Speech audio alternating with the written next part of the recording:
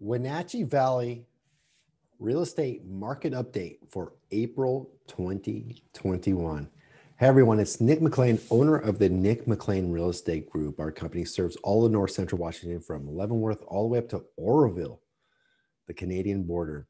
I'm coming to you to talk about the Wenatchee Valley real estate market. And what we've seen is an increase in sales. And I'm going to tell you why that's incorrect and false or maybe it's accurate but misleading. I'm going to talk about inventory levels. Have is there is there light at the end of the tunnel? Will we see more inventory? What's currently happening with inventory? And lastly, prices. Where are the values of homes? Where are they going to go? And what is my bold prediction for the rest of 2021? So for the, the end of the first quarter, we saw sales reported at 88 and an increase of 22%. So they're saying sales increased 22%, and that's compared to last year. But I'm going to tell you why that's misleading.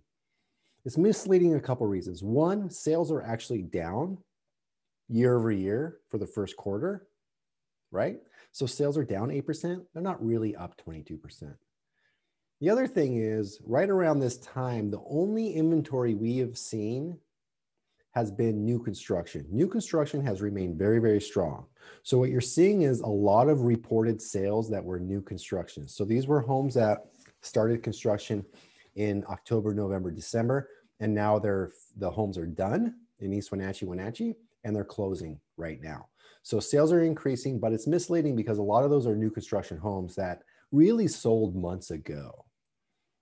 So what should we see moving forward? Well, here's my prediction is that we're actually going to see sales increase compared to last year because we're going to be comparing everything to last year.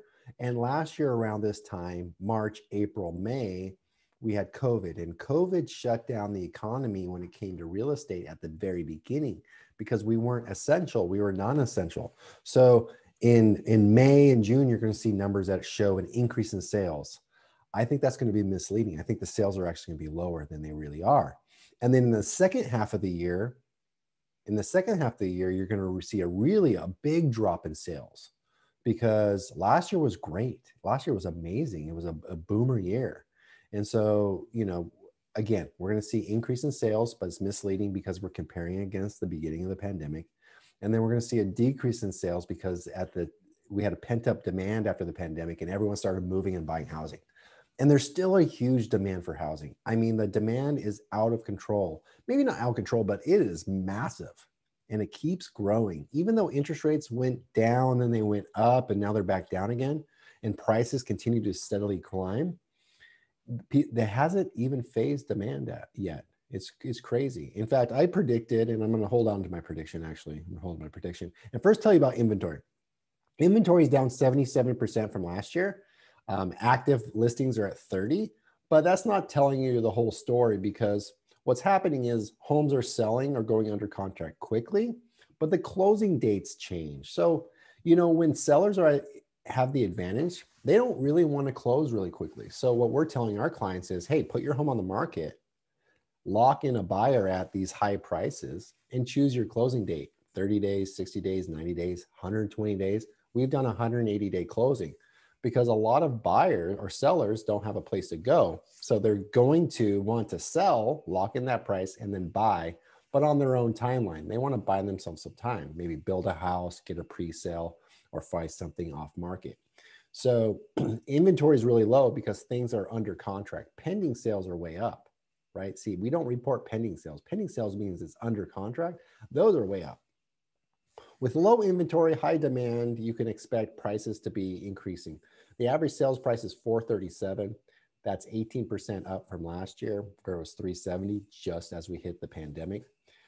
437. My bold prediction here is that the average sales price in Wenatchee will hit $500,000 by the end of the year. So by the end of 2021, we will see a what is it going to be $63,000 increase in values on the average, on the average. So if you're higher than that, you're going to have more money. If you're lower than that, just slightly less. But we're going to see average sales price hit $500,000 by the end of the year. Also, by, the Biden administration has proposed a $15,000 credit or uh, incentive or grant or down payment assistance, some something for first-time homebuyers to get into the marketplace. If that passes in 2021, the average sales price is going to go to 525. 525. And I don't see anything happening with interest rate through 2021. No changes in interest rate.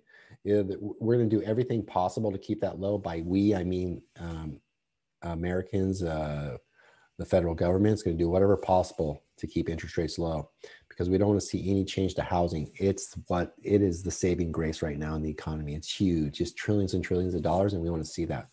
So when Wenatchee's becoming more and more valuable in demand from out of the area. We're a Zoom town, meaning people can live here and work from here and have a quick commute to Redmond, Bellevue, Kirkland. Our marketing has been designed the last decade to reach out to people outside of the area as well as in the area, but really outside the area to get top dollar. If you have any questions about the real estate market, you have to understand something. This is the whole real estate market, the entire real estate market. But for you, the homeowner that's watching this, you have a very specific home, a very unique home.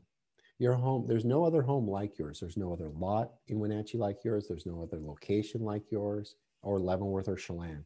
There's nothing like your home. There might be the same home somewhere else, but it's not the same lot, not the same view, not the same location. So what your home worth is worth or what how the market is going to affect your home is completely different. If you have a question about what to repair on your home, what things you can do to increase the value, when is the right time to sell for your specific home? Because each home's different. Reach out to us. Um, you can find us online nickmcleanrealestate.com or just google nick mclean find us online reach out and our team will, will be there for you. And there's no obligation to sell list buy nothing.